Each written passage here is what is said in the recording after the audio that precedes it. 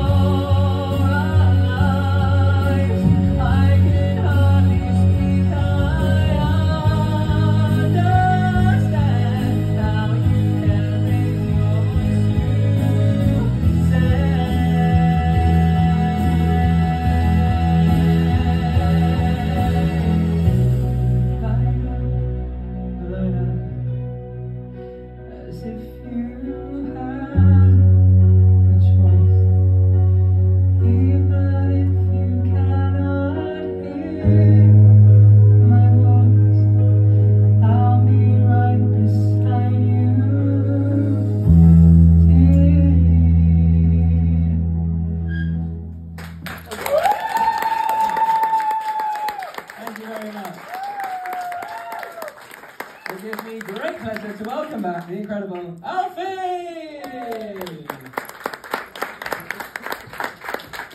Now, I haven't been using his full name, so it gives